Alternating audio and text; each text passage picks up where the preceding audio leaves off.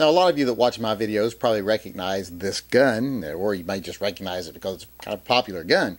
Uh, it is a Beretta PX4 Storm. Now, if you do watch my videos, you know that I really like this gun. I think it's an awesome gun. I love the way it shoots. I love the ergonomics of it. I love the design of it. I just like everything about it. You also know it's the first gun I ever got a Kydex holster for. This is my Bravo Concealment Kydex holster, the RTT holster, and I loved this holster. It was the first time I ever tried a Kydex holster, and I'm like, my God, this has opened my eyes to a whole new way to carry. But uh, the only problem was I didn't want to carry this gun because it has a safety, and I won't carry guns that have safeties. Everything else about it, I love. It's double action single action. You know, got a good trigger. It holds 17 rounds plus one, so 18 rounds of 9 millimeter. So just an awesome gun with everything except for except for the safety. Everything about it except for the safety I liked. So uh, wasn't going to carry it. And then someone asked me, you know, like, well, why don't you convert it from a Type F to a Type G? And I'm like, well, you know, I thought about it, but you know, I didn't know if I was going to do it or not. And uh, that's actually code for I didn't know I could do it, uh, but now that you're mentioning it, I'm googling it so that I don't look like an idiot, uh, so that I can answer your question. But uh, I had never known you could convert it to a Type G. In fact, I didn't even know really what a Type G was. Uh, turns out these guns come in all different types Type C, Type F, and Type G. And there's actually another one that's like a Type D or something, but I don't understand what that one is. Uh, the Type uh, F, like this is, actually has a functional safety. The safety goes down, stays on. In Type G, the safety is just a decocker. It does not uh, lock the gun in any way, it just decocks, pops back up. That's what I wanted. That's kind of like what a SIG decocker does. And, you know, I'm reluctant to change guns from factory specs. So I called uh, Beretta and I asked him, I was like, you know, I would like to have that type of gun instead of the Type F. And they're like, well, you know, we make a kit that you can change it. And I'm like, well, does that mean my gun has been changed away from factory specs? And they're like, uh, absolutely not, because the only difference between the Type F and the Type uh, G is that in the Type F there is a little indent and uh, spring in the safety, and it's not in the Type G. So if you change the safety out, you've changed it to a factory spec Type G. So I got this. It is the little kit that changes it to a Type G safety. It's got a little safety in there, and it's also got a little uh, low profile slide release. Now I like the slide release on it. I wouldn't want it to be much thinner. So I probably won't change that. But if you look at the safety, they kind of stick out like wings, and you do can catch your finger on them while you're racking the slide. It makes it easy to engage and disengage the safety if you're using this as a safety. But if it's not going to be needed as a safety anymore, it's great that I can make those almost flush. So that'll make the gun a lot better for carry also, and better for racking the slide too. So tonight I'm going to install that new safety and make this a Type G. Okay, first thing I'm going to do here is take out the extractor.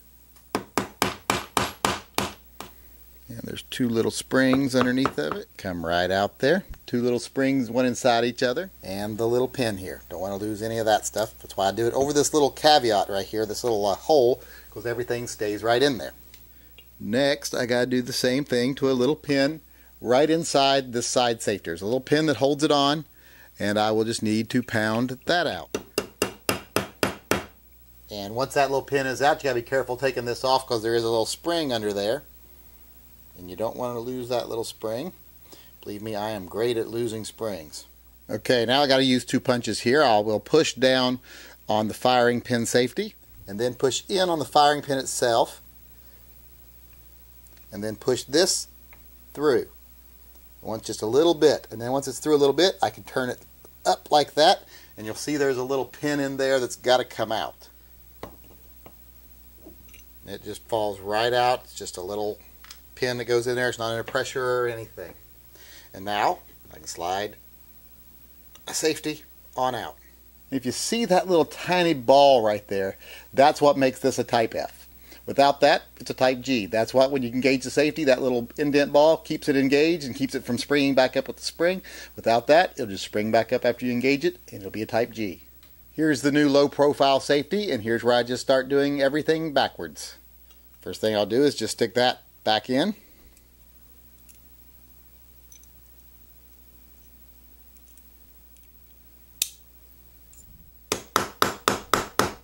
Okay, before I put the other side back in, I gotta make sure to put the little spring in there, and then I gotta make sure the little spring lines up with that little latch at the top there. That little top little piece that's sticking up has to go in that little groove right there.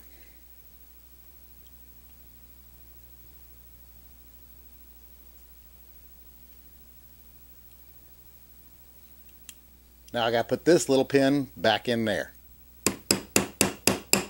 Okay, it is back on. Now you notice when I slide it down, pops right back up. So let's just put the gun back together and see how it uh, works. All right, so let's check it out here. Rack the slide, hammer is back.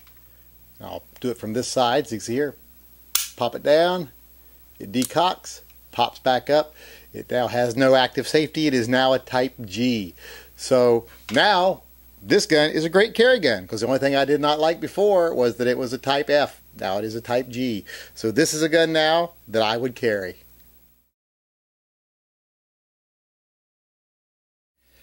Okay, now I don't know if I was going to say anything about this or not because I don't need any help seeming any crazier than people already think I am, but I am going to be sending this back. Actually, I'm going to be ordering another one, and when I get it, send this one back because they made a little mistake on this one. When they bored the hole for the little pin to go in right here, they bored it a little off. So you can see how that safety is a little bit down. It's not all the way up flush. That one's all the way up. So they are a little off. This one never goes all the way up. And that is really, really bothering me. So I'm going to have to take this off here, put another one on there, and hope it's better because that will bug the hell out of me. FYI, I did convert back to the old style uh, safety levers here. I just couldn't stand how off the other two were. I did send them back for replacements, but you know, I kind of like how much easier these are to engage, and I did do the alteration on these to make them Type G because uh, Beretta does make Type G safety levers that are wider like this too. In fact, this is the way they actually come from the factory unless you request the low profile ones. So now it's more like a factory Type G, and it is still just a Type G. It doesn't engage, but they stick out more, easier to engage, which doesn't seem to bother me as much as those two being off, how they were off kilter a little bit. My OCD just could not handle that. So now, like I said, it's more like a factory Type G PX4 Storm.